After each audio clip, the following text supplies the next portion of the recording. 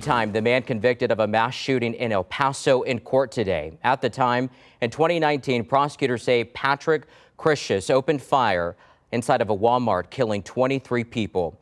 Now, today's court appearance, part of a two-day hearing on alleged misconduct from the prosecution. His attorneys argue the El Paso District Attorney's Office had improper contact with witnesses, violated a gag order, and suppressed evidence. The legal team for Crusius is asking the court to dismiss the charges or remove the death penalty. He has already been sentenced to 90 consecutive life terms in federal prison.